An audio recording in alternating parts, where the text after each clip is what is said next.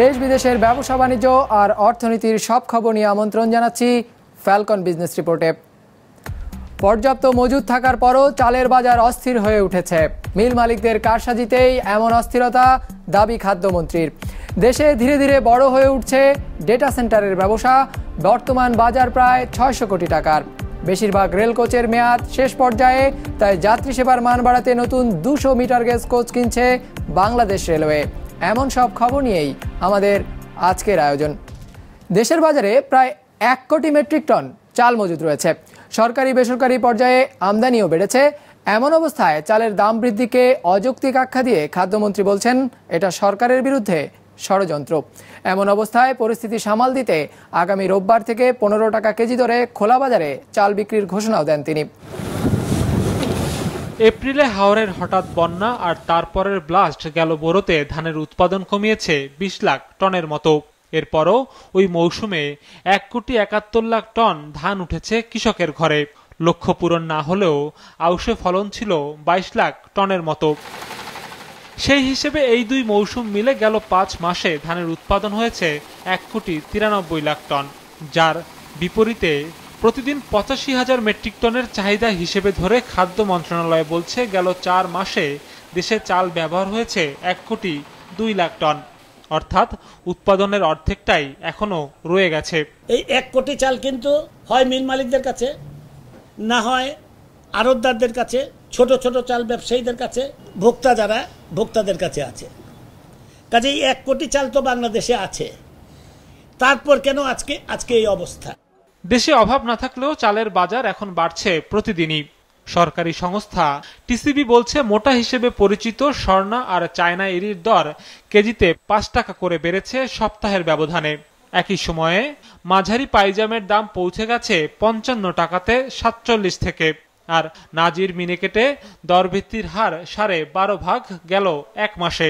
অথচ সরকারি হিসেবেই এই সময়ে শুল্ক ছাড়ের সুবিধা নিয়ে দেশের ছয় লাখ টন চাল এনেছে ব্যবসায়ীরা ঋণপত্র খোলা আছে আরও এগারো লাখ টনের। মজুদদার আড়তদার কল মালিক সবার প্রতি আমি আহ্বান জানাব এখনও ভালো হয়ে যান সময় আছে। আপনারা যেভাবে দাম বাড়াচ্ছেন যেভাবে সিন্ডিকেট করে যেভাবে আজকে চাল নিয়ে রাজনীতি শুরু করেছেন তা কোনো অবস্থাতেই বরদাস্ত করা হবে না। যদিও ব্যবসায়ীদের উপর আর ভরসা রাখতে চায় না সরকার তাই বাজারে স্থিতিশীলতা ফিরিয়ে আনতে পনেরো টাকা কেজি দরে চাল বিক্রিকেই উপায় মানছেন তারা। সমস্ত বিভাগীয় শহর, জেলা শহরে আমি ওএমএস চালু করছি। যেহেতু বাজারে একটু ঊর্ধ্বগতি, কাজে আমি ওএমএস চালু করতেছি আগামী রোববার থেকে। আর বন্যায় ক্ষতিগ্রস্ত এলাকা সহ রোহিঙ্গা শরণার্থী এলাকায় বিজিএফ জিআর কর্মসূচিতে বরাদ্দকৃত চাল যথারীতি সরবরাহ করা হচ্ছে। মানে কোনো আমার খাতের কোনো জায়গায় আমার শর্টটট নাই। মন্ত্রী বলছেন সরকারের গুদামের ঘাটতি পূরণ হচ্ছে। ভিয়েতনাম থেকে আসা দেড় লাখ টন চালে যেখানে আরও এক লাখ টন যোগ হবে সপ্তাহখানেকের মধ্যে। নভেম্বরের মধ্যেই আড়াই লাখ টন দেবে কম্বোডিয়া। রোহিঙ্গা ইস্যুতে দ্বন্দ্বে থাকা মিয়ানমারের থেকেও আশা করা হচ্ছে দুই লাখ টন চাল। ট্রেড অ্যান্ড কূটনীতি একসাথে চলতে পারে। Sourav Rahman business report Maasranga television. ডিজিটালাইজেশনের এই যুগে ডেটা সেন্টার ছাড়া কোনো প্রতিষ্ঠানের স্বয়ংক্রিয় সেবা দেওয়া সম্ভব নয়। দেশে তাই এই প্রযুক্তির ব্যবহার বাড়ছে দ্রুত গতিতে দেশি বিদেশি প্রতিষ্ঠান বিনিয়োগ করছে এই খাতে।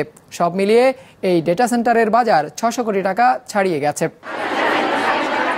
ব্যাংক, তথ্য প্রযুক্তি কিংবা টেলিযোগাযোগ। গ্রাহককে সেবা দেওয়ার জন্য সংরক্ষণ করতে হয় তথ্য ভাণ্ডার এজন্য অনেক প্রতিষ্ঠানই গড়ে তুলছে নিজস্ব ডেটা সেন্টার তার সলিউশন বা সেবা দিচ্ছে দেশি বিদেশি প্রযুক্তি প্রতিষ্ঠানগুলো, যেমন বহুজাতিক প্রতিষ্ঠান ABB.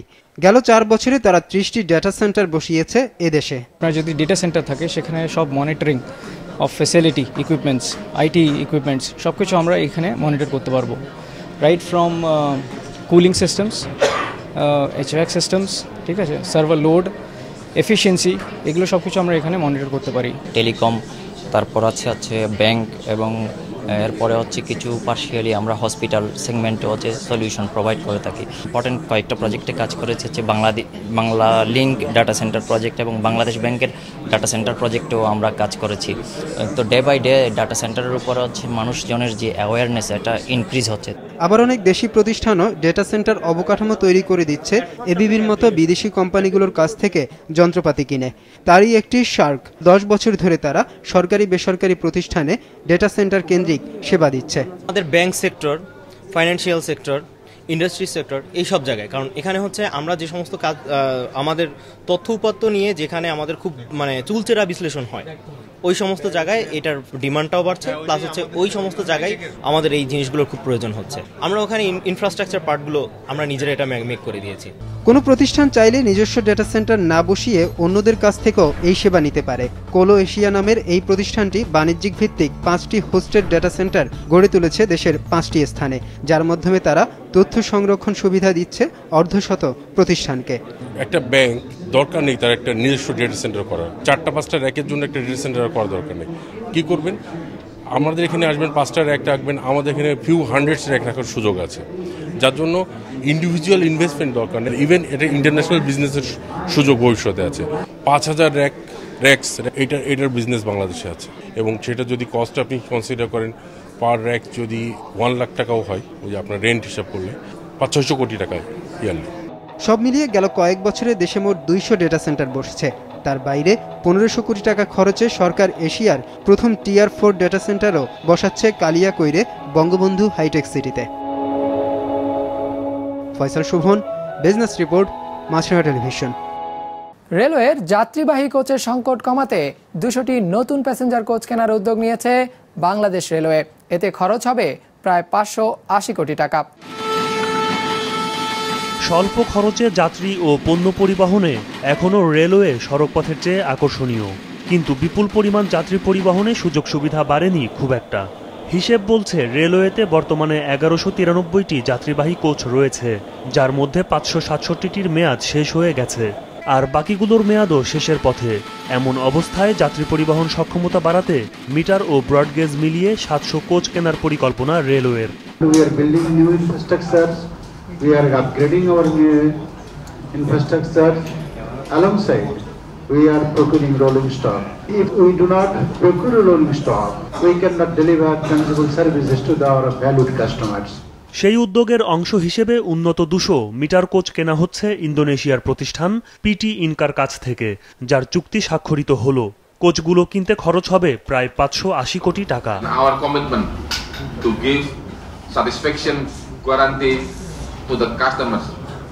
will let us to deliver our products in the very right time. একই সাথে একশো উনত্রিশ কিলোমিটার দীর্ঘ দোহাজারি রামু কক্সবাজার ডুয়েল গেজ রেলপথ নির্মাণ প্রকল্পে পরামর্শক হিসেবে কাজ করবে অস্ট্রেলিয়ার এস এম ইসি ইন্টারন্যাশনাল যাতে ব্যয় ধরা হয়েছে চারশো ষোলো কোটি টাকা The connection with uh, Cox's Bazaar will do an, a, large number of things. Besides stimulating tourism, uh, it will help the socio-economic development of the Cox's Bazar area and it will facilitate the growth of the uh, indu- industries that are now springing up in that area.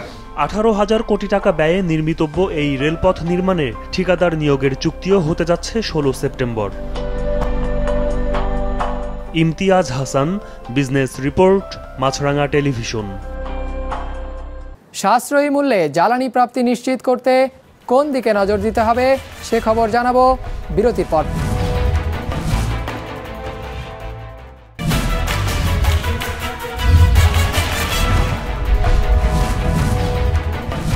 আবারও আমন্ত্রণ Falcon business রিপোর্টে টেকসই জ্বালানি প্রাপ্তি নিশ্চিত করতে ও সাশ্রয়ী মূল্যে জ্বালানি উৎপাদনে অভ্যন্তরীণ উৎসের দিকে নজর দেওয়ার পরামর্শ দিয়েছেন জ্বালানি বিশেষজ্ঞরা।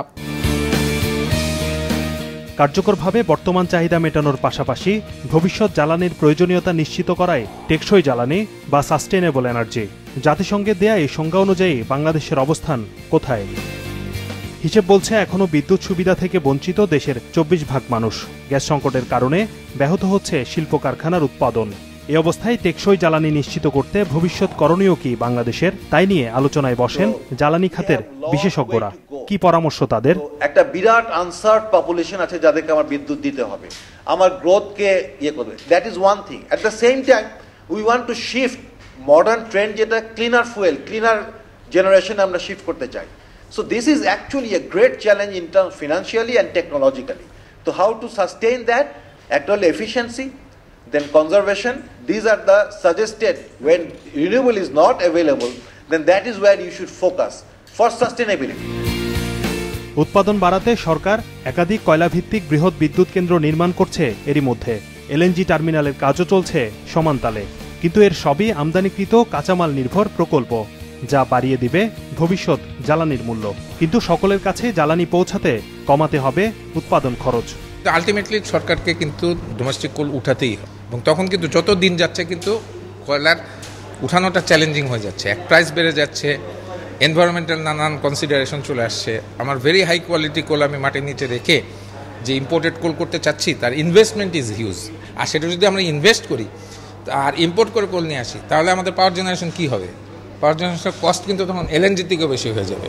যেহেতু we have to depend on fossil fuel and এই ফসিল ফুয়েল মেনলি আমাদের রিসোর্স আছে mainly coal and gas and গ্যাসটাকে যদি আমরা প্রপারভাবে এক্সপ্লোর করতে পারি we can easily develop we can easily discover new field at the same time we can increase our reserve within the existing gas There's a two way we can do that and we can achieve this 40 TCF gas. শুধু উৎপাদন বাড়ালেই চলবে না নজর দিতে হবে বিদ্যুৎ সাশ্রয়ী ব্যবহারে বলছেন বিশেষজ্ঞরা আমাদের মেইন ফোকাসটা হওয়া উচিত residential and industrial efficiency improvement করা। সেখানে আমাদের একটা, এবং ইম্প্রুভমেন্ট করলে আমরা বারবার সাস্টেনেবিলির সাথে আমরা এটাকে কানেক্ট করতে চাই। Why do I want to improve this efficiency then you will need less fuel টেকসই জ্বালানির পূর্বশর্ত নিরবচ্ছিন্ন সরবরাহ। তবে এর কিছুই সম্ভব নয় দক্ষ জনশক্তি গড়ে তোলা ছাড়া। আলোচনায় জোর দেওয়া হয় এই বিষয়টিও।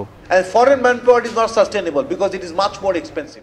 Shahadat Hossain business report Maasranga television খেলাপি ঋণ আদায়ী রাষ্ট্রায়ত্ত ব্যাংকগুলোর সবচেয়ে বড় চ্যালেঞ্জ।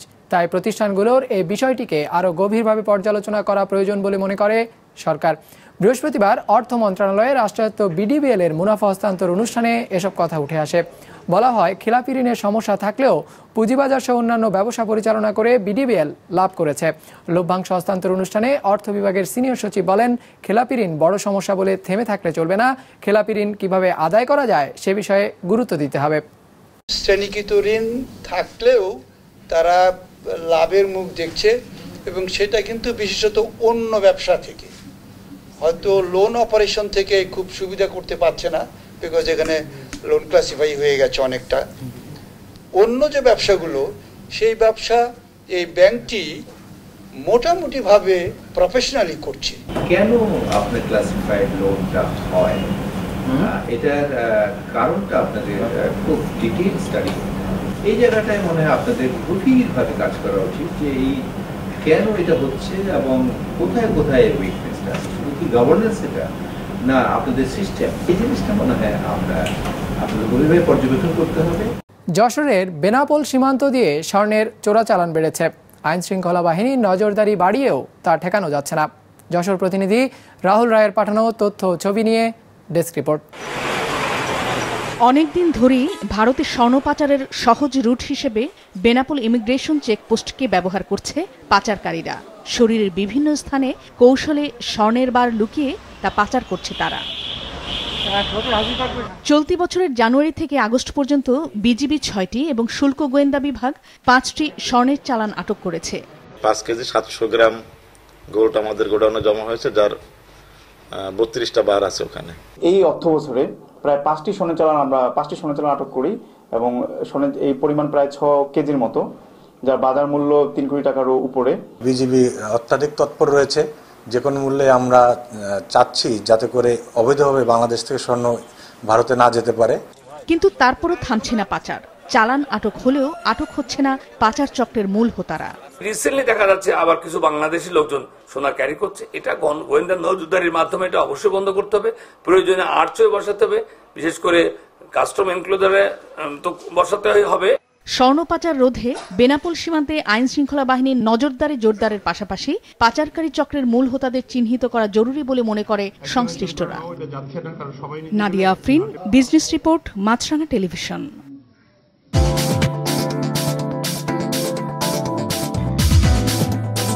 ইতিবাচকভাবে সপ্তাহ শেষ করল ঢাকা শেয়ার বাজার।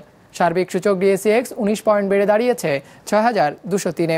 লেনদেন হয়েছে এগারোশো চব্বিশ কোটি টাকার। দর বেড়েছে বেশিরভাগ প্রতিষ্ঠানের, বেড়েছে একশো বিরাশিটির, কমেছে একশো বারোটির। বাজার নিয়ে এবার বিশ্লেষণ শুনব অ্যালায়েন্স ক্যাপিটাল অ্যাসেট ম্যানেজমেন্টের। আজকে মার্কেট সাইকোলজিক্যাল পয়েন্ট ছয় হাজার দুইশো অতিক্রম করেছে।